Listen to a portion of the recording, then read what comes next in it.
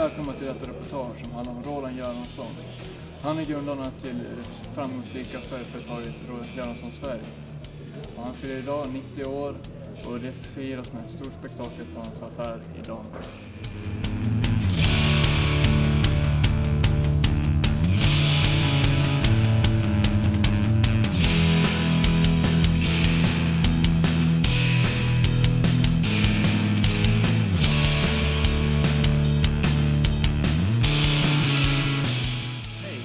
Besökare här på Göransson. Varför är det här? Varför är det här för? Han är, först fyller Roland 90 år, sen så kollar vi lite efter vi ska, vi ska olja in på vår veranda sen. Tycker att du får bra service här? Jättebra service. Här är de väldigt kunniga och plus att det är väldigt bra grejer man köper.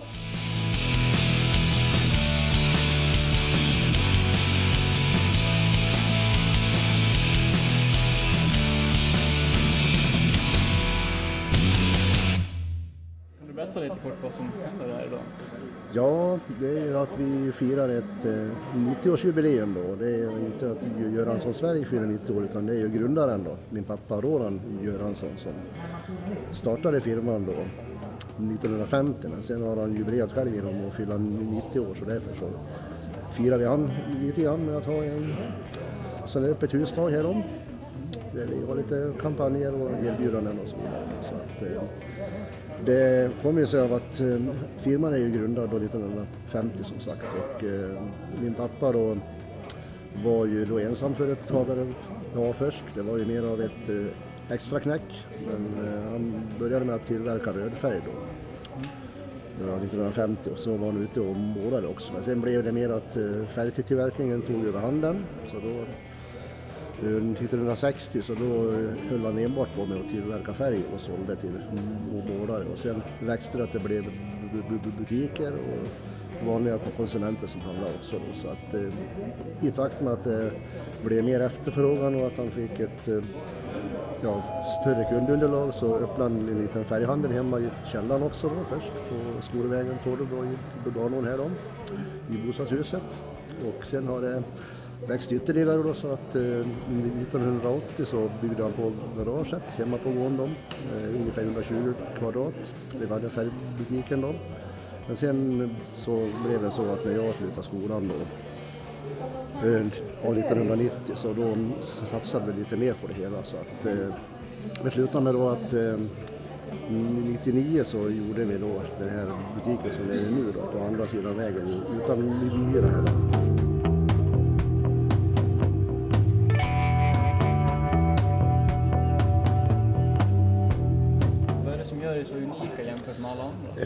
Vi har ju alltid, om man säger, satsat på att det ska vara en god service. Vi ska försöka att eh, hjälpa då kunderna med deras önskemål vad det gäller färg, tapeter, golv då och ge dem unik eh, ja, ja, service genom att eh, vi blandar ju mycket färger då individuellt för kunden. Så att, eh, det är väl lite av vårt kännetecken att vi har ett stort sortiment och vi försöker alltså verkligen att hjälpa folk att få det de vill ha. Vad tycker du är bra om affären? Ja, jag handlar här så länge jag minns om man säger så. Även från förra stället de hade. Så det, Vad tycker du som är bra med affären? det är ju servicen och deras kunnande. Vad tror du att företaget kommer se ut om ungefär 5-10 år? Ja, det kommer nog att bli en breddning mot att man gör allt mer om man säger färgsättningar och eh, jag tror också att sortimentet kommer att blandas mera så att man har både färg, tapet, golv men även möbler och inredning ser jag som en avkommande kommande grej.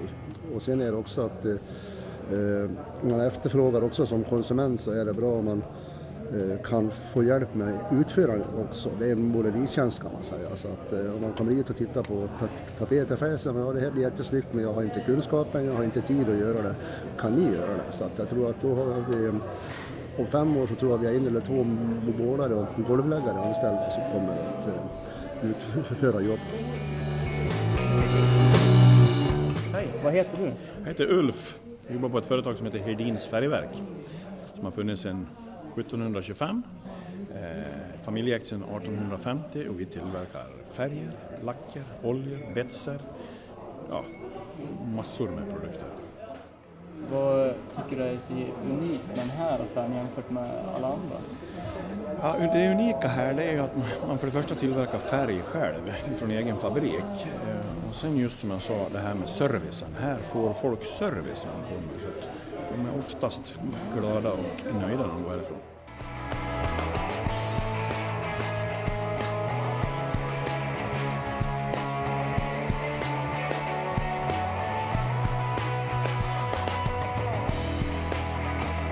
Hej Roland! Ja, Hur känns det att fylla 90? ja toppen. Halva tiden ungefär. Kan, kan du berätta hur allting egentligen började? Och det börjar. Ja, det börjar väl egentligen som övertygelse. Jag sjöng från ovan. Jag har inte varit nog intresserad av varken välfärd eller någonting. Jag jobbade på ett företag som gjorde välfärd. Och där var jag inte ute och tittade en gång. Sen var det att jag, jag fick uppifrån att jag skulle göra välfärd. Och då blev det så. Sen var det att de ville att jag skulle komplettera med lite vita färger och så. Så var det att min tid och använda. Så jag gjorde det för Sen var det att vi plockade ut den där tapeten och allt möjligt. Sen växte jag ur lokalen och byggde nytt större hemma där. Och sen växte jag det jag var så här. Och det här blir det som är. Det blir nog inte något större.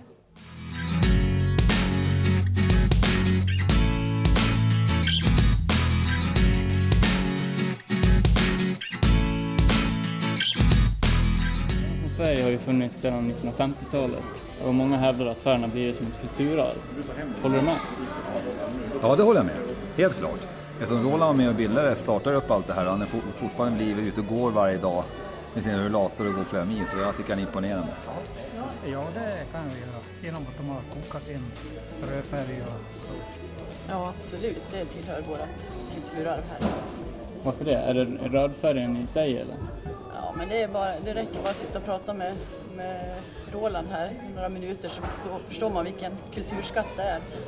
Ja, det tycker jag nu, faktiskt. Eh, de firar 90-årsjubileum nu och med gamla gubben Roland är här och målar och folk tycker att det här är roligt. Så att det här tycker jag är en del av kulturen i Sundborns socken om man säger så. Eller Danhult.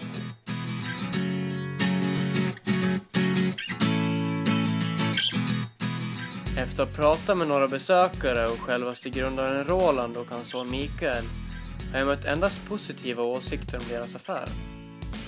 Det är tydligt att affären är ett viktigt kulturarv för inte bara byn i Dalarna, men även för hela Dalarna och dess världsarv. Deras populära rödfärg är inte bara en del av en symbol för Falun, men även för den svenska landsbygden. Det var allt för mig. Tack för att ni tittade.